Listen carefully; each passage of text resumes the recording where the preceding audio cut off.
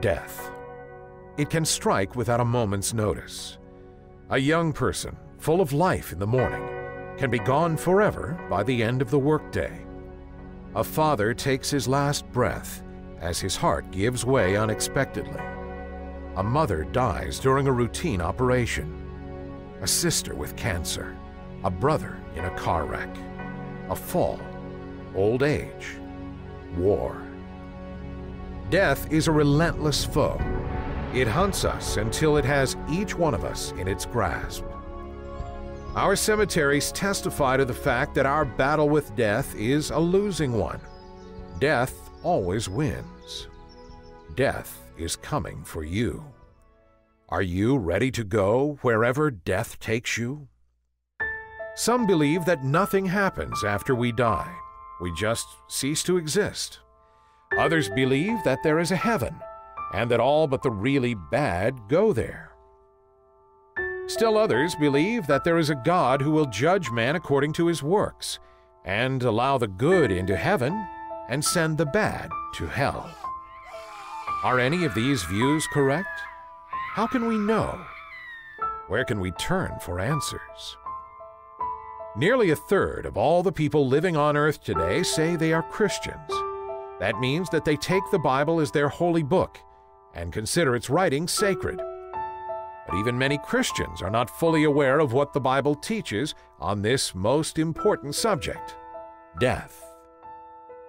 Why should we consider the Bible's point of view? There are a few things that commend the Bible. First, virtually every prophecy written in the Bible has already been fulfilled. This is in stark contrast with other religious writings which contain no fulfilled prophecy. The Bible tells of events that would befall Israel as a nation. It tells us that in the last days, every man would be numbered before being allowed to buy or sell. Far fetched? Not anymore. For what other reason should we consider the Bible's point of view? The Bible has its roots all the way back to the earliest recorded history of man. It takes its place with the earliest recorded writings, and this book has given comfort to billions in every age. This book has life transforming power. People have died for the words and the message in this book. Finally, and most importantly, we believe this book when it claims to be the very words of God. So, what does the Bible have to say about death? Does it have any answers about this dark and mysterious subject which casts a pall over all men? Yes, one of the major themes of Scripture is the subject of death. We find death in the first chapters of Genesis and in the final chapters of Revelation. The Bible has good news and bad news about death. Let's consider the bad news first. The Bible says that death is not natural. God did not intend for man to die. Death is a curse on man for his rebellion against God. God gave man the world in a perfect state, but man rebelled against God.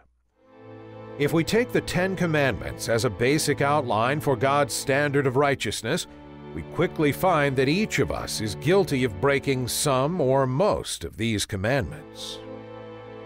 Prohibitions on stealing and killing are in there, but so is lying, dishonoring our parents, making idols, adultery, and failing to worship the only true God.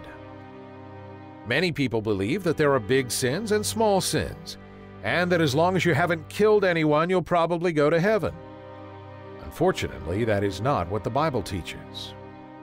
Ezekiel 18:20 The soul that sinneth it shall die. The wages of sin is death.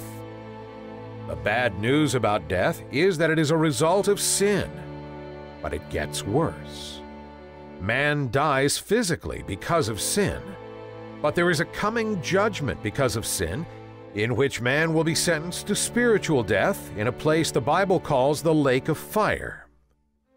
But the fearful and unbelieving and the abominable, and murderers, and whoremongers, and sorcerers, and idolaters, and all liars shall have their part in the lake which burneth with fire and brimstone, which is the second death. Do you believe that? The death that we see all around us in this wicked world is not the end, but it certainly testifies to the fact that God must mean what he says. God has promised eternal torment for sinners. Based on what we've seen so far, do you believe that you are a sinner?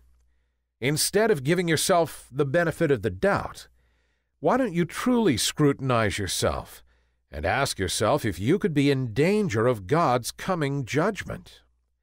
Only when you stand in doubt of yourself and seek to find a remedy to your sinful condition will this next part make any sense to you. And that is the subject of this video. The meaning of the term gospel. The Greek word gospel means good news, and having considered the sobering subject of death, we need some good news. The good news is that God loves man. He loves men, women, and children so much that He Himself took the penalty of your sin and mine. He sent His Son Jesus Christ into the world. You and I are sinners, but Jesus never sinned. Even His enemies could find no fault with Him. Because He was perfect, His death was undeserved. It was a substitutionary sacrifice. He died in your place. He died the death that we should have died. Men naturally believe in substitutionary sacrifices. In the most uncivilized places, we find man offering the blood of animals to appease their gods. They believe that something or someone else can die in their stead. But the news gets better. Jesus died, was put in a grave for three days, and rose again. After his resurrection, he was seen by multitudes of people who testified to the fact that he was alive after death. The Apostle Paul testified to that fact this way For I delivered unto you first of all that which I also received, how that Christ died for our sins according to the Scriptures, and that he was buried, and that he rose again the third day according to the Scriptures and that he was seen of Cephas or Peter, then of the twelve. After that he was seen of above five hundred brethren at once, of whom the greater part remain unto this present, but some are fallen asleep. After that he was seen of James, then of all the apostles. And last of all he was seen of me also, as of one born out of due time. Do you believe that? Friend, let me ask you something. Are you tired of your sin? Have you ever wanted to be clean from the evil things you've done? Does death and what lies beyond frighten you? You can have peace with God today because Jesus Christ died in your place. That is the meaning of the term gospel. The good news is that Jesus Christ offers pardon to sinners he can blot out every transgression and desires to do so. He can give you a new start on life. Throw yourself on God's mercy. Openly confess your sin to God. Plead His forgiveness on the basis of what Jesus Christ did for you. John 6:28 Then they said unto him, What shall we do that we might work the works of God? Jesus answered and said unto them, This is the work of God, that ye believe on him whom he hath sent.